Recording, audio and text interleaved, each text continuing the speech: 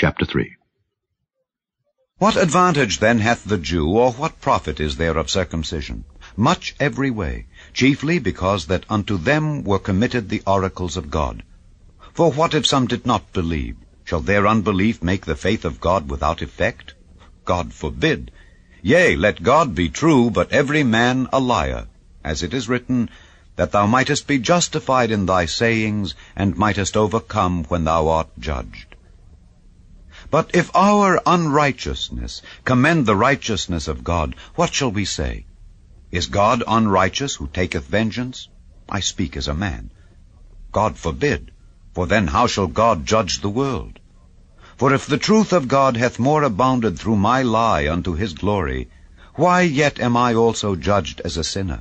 And not rather, as we be slanderously reported, and as some affirm that we say, let us do evil that good may come, whose damnation is just. What then? Are we better than they? No, in no wise. For we have before proved, both Jews and Gentiles, that they are all under sin, as it is written, There is none righteous, no, not one. There is none that understandeth, there is none that seeketh after God. They are all gone out of the way, they are together become unprofitable. There is none that doeth good, no, not one. Their throat is an open sepulchre. With their tongues they have used deceit. The poison of asps is under their lips, whose mouth is full of cursing and bitterness. Their feet are swift to shed blood. Destruction and misery are in their ways, and the way of peace have they not known. There is no fear of God before their eyes.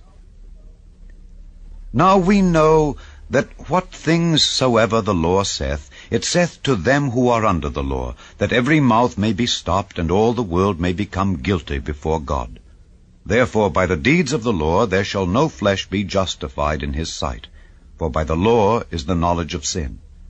But now the righteousness of God without the law is manifested, being witnessed by the law and the prophets, even the righteousness of God, which is by faith of Jesus Christ, unto all and upon all them that believe.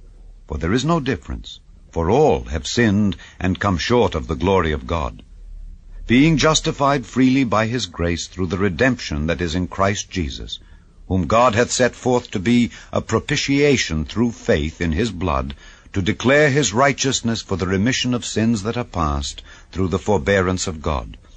To declare, I say, at this time his righteousness, that he might be just and the justifier of him which believeth in Jesus. Where is boasting, then? It is excluded. By what law? Of works? Nay, but by the law of faith.